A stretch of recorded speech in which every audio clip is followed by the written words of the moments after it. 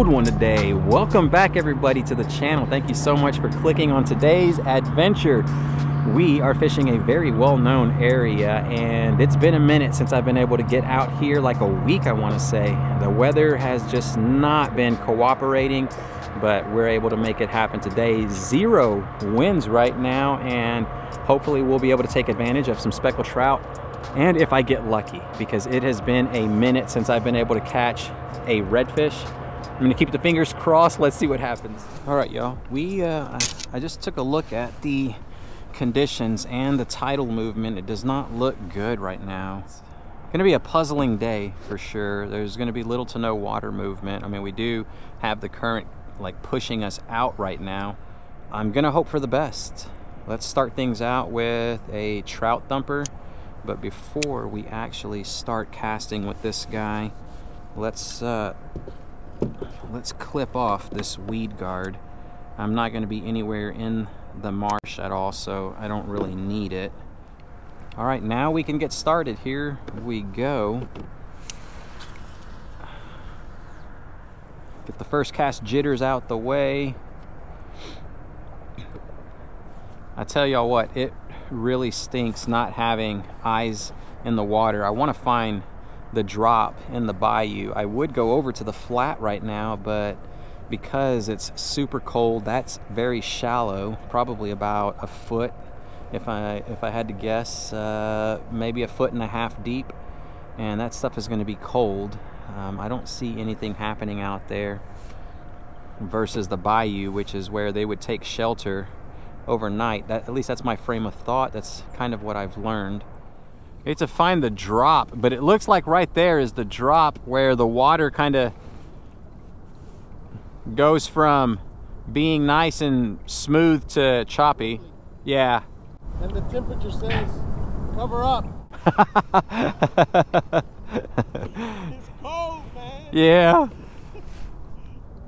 You got the birds working over there. Right up ahead.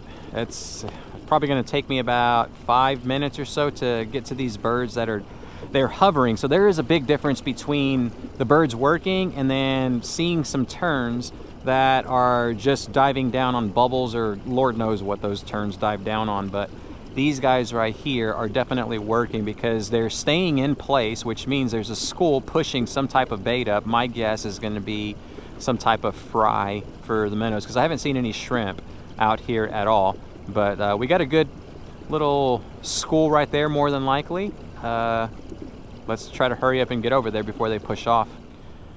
False alarm, everyone. Uh, got a little bit closer and just realized that these guys are terns and those are the guys that I was talking bad about but that's the reason why because you see them hovering from so far away and it's what I thought was gonna be seagulls but yeah no go it is a no-go. Goodness gracious. I mean, with all this moving water, this is seriously where I thought we would be able to get a few trout because they absolutely love this moving stuff. And I've been casting for a minute.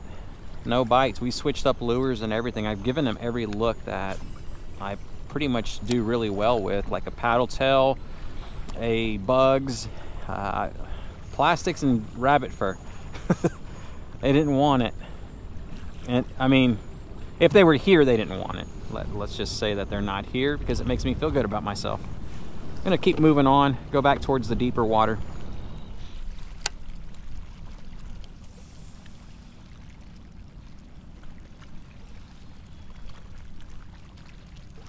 There we are.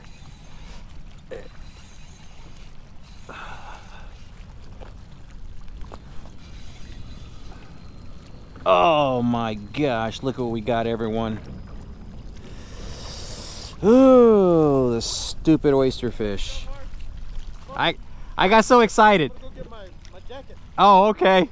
Freezing, you catch anything? Uh, right at about the same path. Got uh, two keeper trout. Oh, good job. Maybe 50 yards back. Yeah. Awesome. They're, they're right here in this corridor. Yeah. This, this right here is about two foot eight. Okay.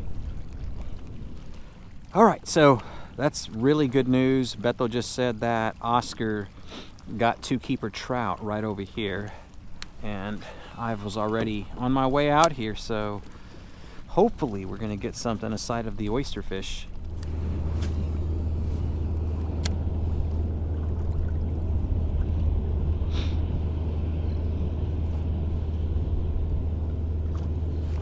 Got him.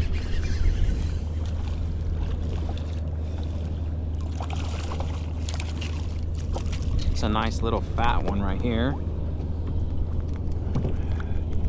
We're gonna hit spot lock before we continue on. This guy's probably 13, 14 inches, somewhere around there. That's that's gonna be my guess. We're gonna check it just to make sure the eye is still calibrated. There we go. Little paddle tail action right there.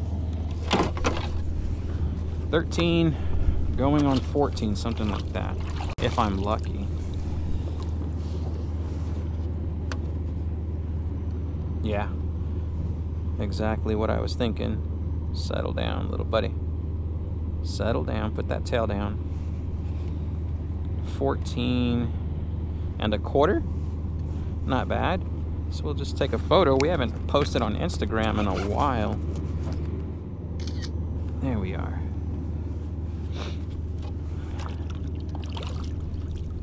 A little bit bigger, buddy. Just a little bit bigger.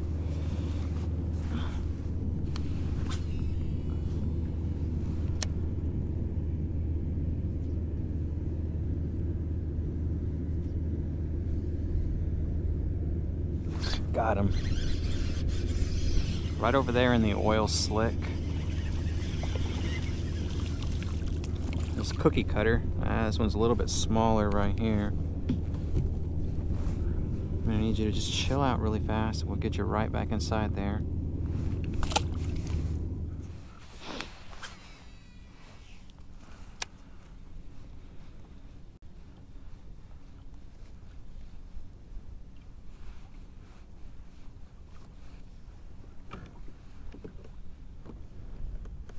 Got him. That was a good bite too. Just picked it right up.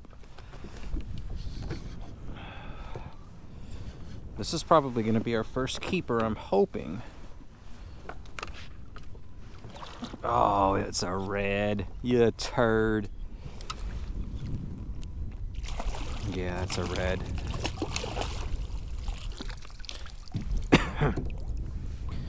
Son, you better hope you ain't 20 inches. He's probably 18 by the looks of it.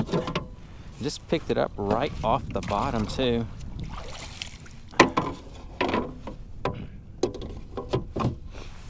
been slowing it down. Wintertime makes it so tough to fish. You got to slow everything down a little bit. All right, all right, all right. I'm sorry. I'm sorry. Yep, I'm sorry. Yeah, I know that hurts.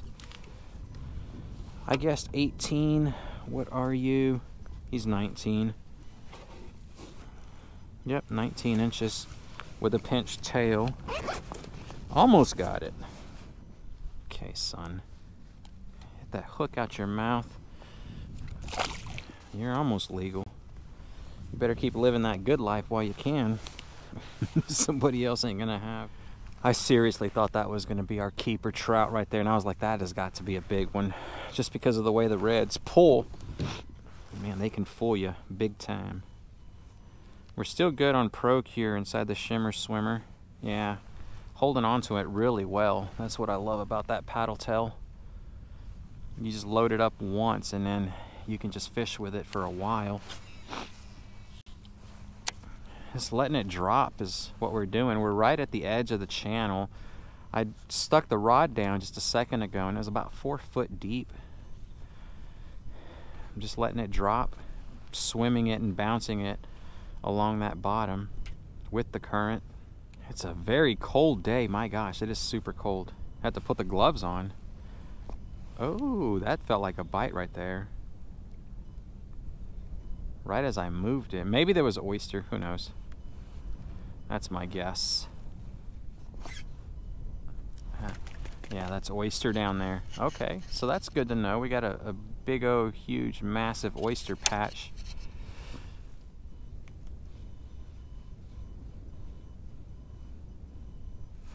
got him. Another one right down there against that oyster. Oh, look at that. It's a little flounder, man. Goodness. That right there is a nursery slam for us, everyone.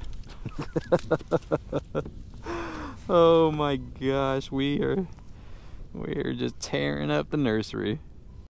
Let it go, son. Let it go. Okay, well, we're gonna capture a fast photo. Okay.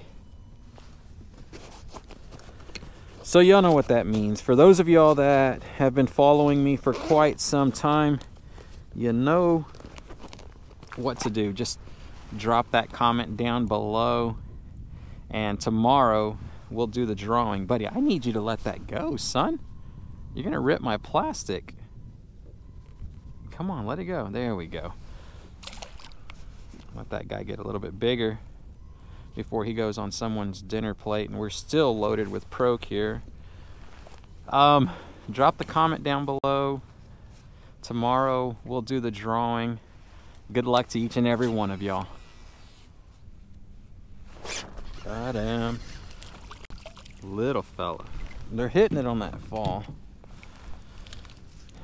Well, we've got the numbers. We just don't got the size. Hold on, player. I need you to chill out just really quick. We're going to get that right out to your... Man, right up in the brain. See you later, buddy. I hope we didn't screw you up for life. Yeah, got the, uh, got the numbers, just don't got the size. It was a pretty slow day out there on the water. I'm just glad that I was able to catch some fish.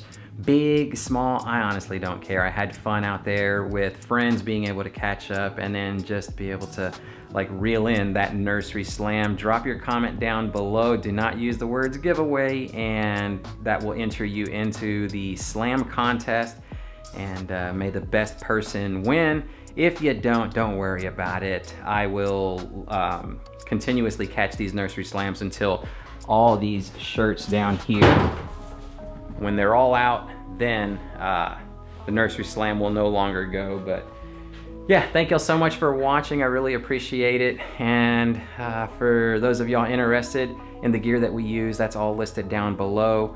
Uh, check out my merch as well. There's uh, several shirts that I am selling. So if you want to help support the channel, then purchase one of those. We will earn a commission. But if you truly want to help me out, share this video with other friends who love fishing, your family, just share it and that will help the channel to grow and I definitely would appreciate it. All right, that's gonna do it. Until next time, tight lines, y'all.